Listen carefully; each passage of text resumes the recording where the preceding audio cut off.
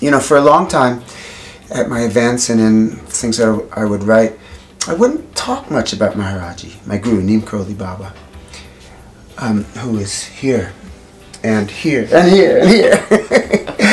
uh, I met him in 1971.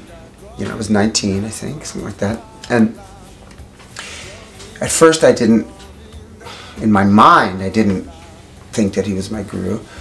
And gradually that, that understanding bloomed in me and blossomed in, in, me. Even though I must say that to this day I don't even know exactly what that means. I know, I know in my heart that Maharaji has been protecting me and holding me for how many lifetimes? You know, perhaps thousands, we don't know, right? But the reason I didn't talk that much about Maharaji is, is because I find that people in the West, us people, there's so much this thing like, oh, you got a guru. I don't have a guru, so you must be better than me, and you must be higher spiritually than me because you got a guru. Oh, if only I could get a guru. How can I get a guru? Give me some guidance. I got to go find me a guru. And and you know, wow, I don't want to do anything to feed into that into that thought process because I, I so much don't think that that's true.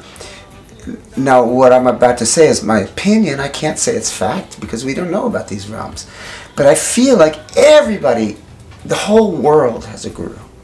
Some of us have a guru in form because that's what our karma needs. A guru who's a person, you know? And, and many of us don't have that.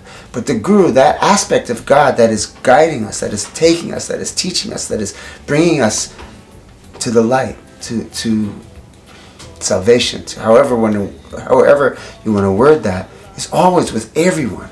I so much believe that. And, and so I, I didn't ever want to encourage that thought process, that kind of thought of hierarchical thought process that you know you're here until you're there and then when you're there you get a guru and then you're there. I think we got to find the guru inside of us and and maharaji i have to find maharaji inside of me. My guru is a, a human being. But wait a second he left his body in 1973 so where do I find them? I have to find them in here. The same place that everyone needs to find their guru.